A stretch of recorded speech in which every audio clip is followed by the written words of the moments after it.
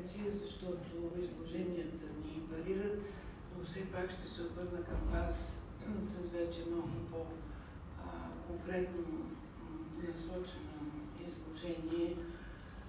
Още повече голяма част от официалните гости вече ги няма, така че можем да говорим и директно на професионални теми. Благодаря на съдия Грозев и на съдия Панова за отбелязването на тези позитивни крачки, които България е направила от момента на ратификацията на конвенцията до сега. Тази ратификация действително беше декларирането на българския парламент, че той ще осигури упражняването на правата и свободите, гарантирани от конвенцията, както и национални средства за тяхната. Това предполагаше, че българските граждани ще могат както да си упражняват правата тук, така и да се обръщат към националните съдилища и други власти, да търсят закриване в случай, че те са нарушени. Днес обаче, както и през последните 25 години, опасявам се, ние говорим по-скоро за решението на съда в Страсбург и за тяхното изпълнение. В тази посока съдия Грозев и моя милост имаме известен принос, до толкова доколкото по дефиниция участваме в постановяването на тези решения. Вие видяхте колко са те на брой, видяхте и също колко от тях са неизпълнени. Темата на презентацията ми днес е капацитета на българската държава да изпълнява решението на съда в Страсбург. Но, както каза съдя Панова, по-добре би било тези права и свободи, които българския законодател се ангажира да гарантира, да бъдат защитени тук в България. И това е ключов елемент на намаляването на броя на осъдителните решения и изплащането за тях обещетения. Впрочем, не зная дали парламентът е предвидил достатъчно средства в бюджета за следващата година по това перо. Но тези средства не биха били кой знае по-малки, ако в България се постановяваха тези решения, с които се предоставя среда за посегателства върху основните права и свободи на българския граждани и на всички лица под юрисдикцията на България. За това обаче е необходим капацитет, необходим е капацитет на всички български власти, тъй като конвенцията, макар и да се представлява българската държава от правителството в Страсбург, конвенцията ангажира действия на абсолютно всички български власти и то не е само в смисъл на правителство, министерство, съд и законодател, но и да кажем официално ангажиментите спрямо болници, различни агенции и всякъде другаде, където има властови елемент, който би могъл да засегне основните права и свободи на гражданите. Развивайки се такъв капацитет през тези 25 години, как се разви, достатъчно ми се разви. А, ще се опитам, понеже не ми достига оптимизма, ще се опитам да ви върна и аз 1992 година и да ви припомня, че тогавашният главен прокурор на Република България, господин Иван Татарчев, заяви официално в отговор на питане по повод задържането на бившия премиер Луканов, заяви официално, че твърдяната от защитата на Луканов конвенция не може да наруши независимостта на прокуратурата. От тогава мина време не много а, и точно тази независимост по отношение на задържането, да, беше засегната в резултат на решение на Европейски съд по правата на човека.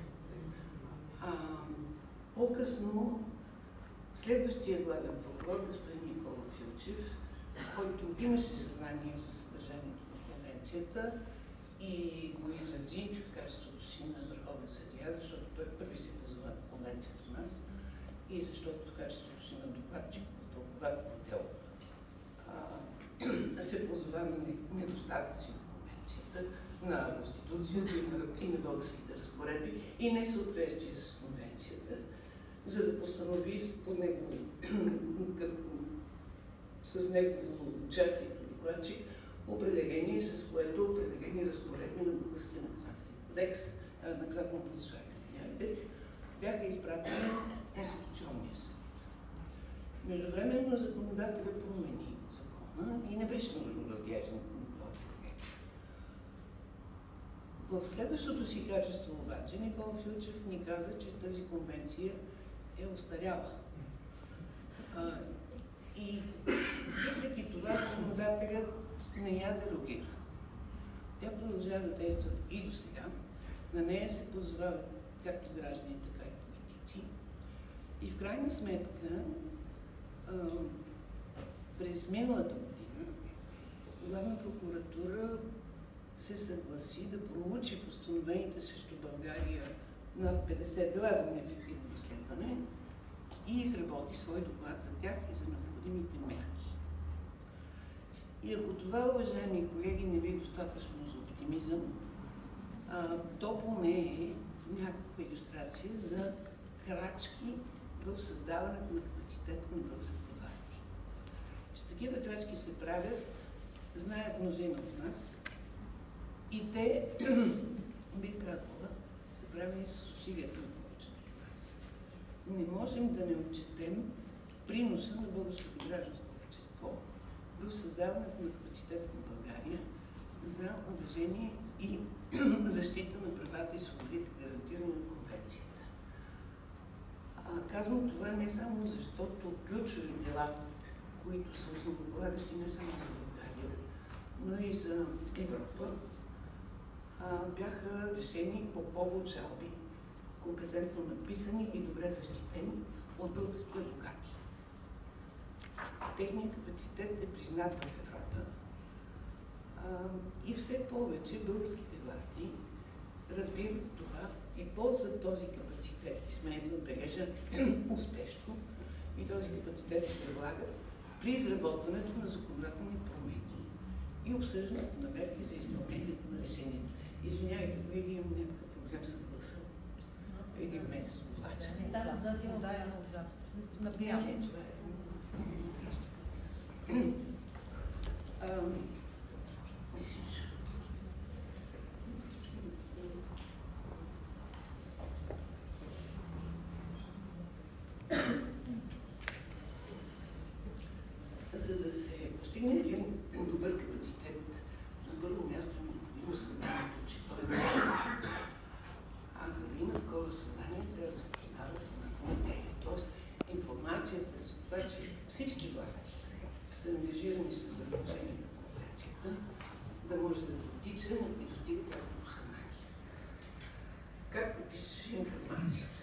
1992 година преди нямаше интернет, нямаше и хютър.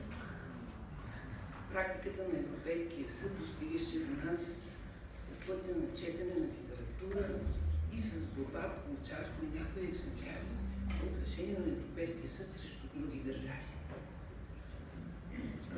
Гражданското общество си даваше сметка с това и се правиха усилия за разпространение на тази информация, колкото и да беше тя оскъдна да са разпространени между съдиите, защото няма как съдиите да прилагат инструмент, който не познават.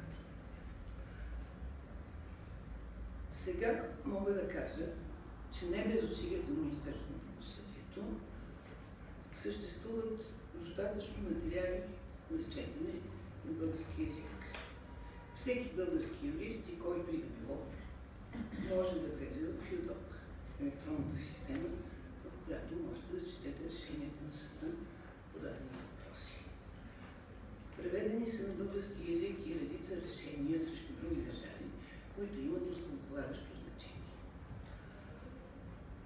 По този въпрос гражданското ни общество също има сериозен принос, защото немалко литература беше преведена и немалко литература беше публикувана и немалко статии и коментари бяха направени именно от представителите на правозащитната общност у нас.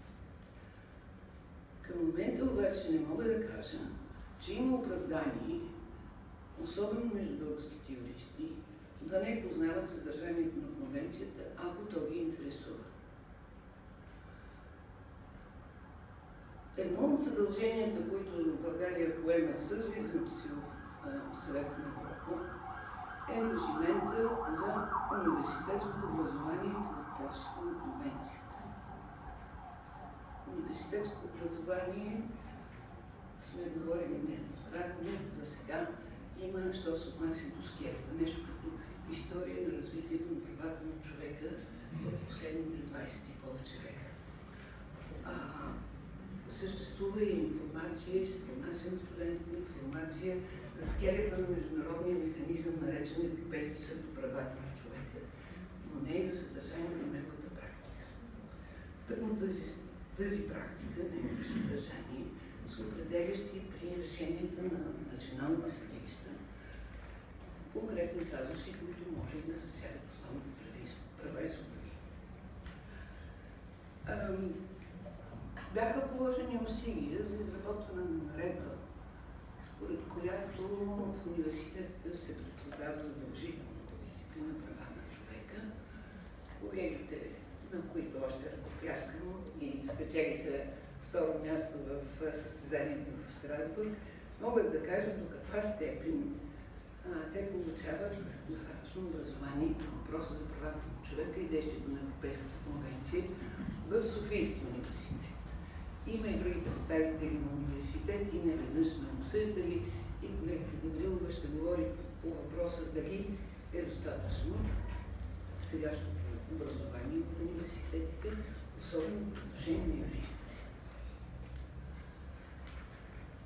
Достатъчно ли е информацията за самите постановени решения и докъде стига тя?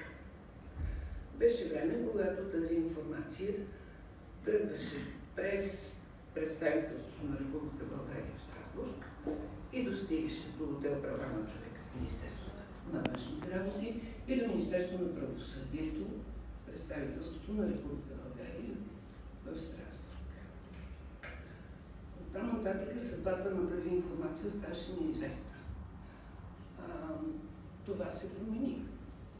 Промени се, защото през 2011, ако се не лъжа, а, се постави въпроса за какво са ни тези решения, някои взимали отношение по тях. И тогава министър на правосъдието беше задължен да представи своите годишни доклади, четиво изключително интересно и полезно. Ако има кой да го анализира и да предприема мерки след това. А, тези доклади са публични, колеги, и съдържат абсолютно необходимата информация за това какво не е изпълнено, следва ли да се изпълни и може би дори как да се изпълни. Но за да се направи това, е необходим капацитет за анализ на съдържанието на докладите. Този анализ го дължи законодателя, дължи го и Министерски съвет, толкова доколкото той е този, който внася законопроектите в България. Процесът, законодателният процес в а, а, определенето на мерките за изпълнение на решение на съда в Страсбург, също за сега поне ми се струва недостатъчно прозрачен. Аз предполагам, че колегата Пишемов ще говори по този въпрос. А, ние знаем, че беше изменено съдържанието на закона за нормативните актове, за да позволи евентуално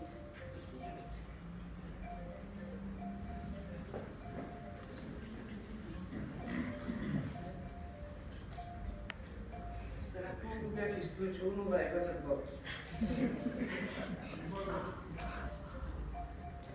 Оттам ли минава информацията?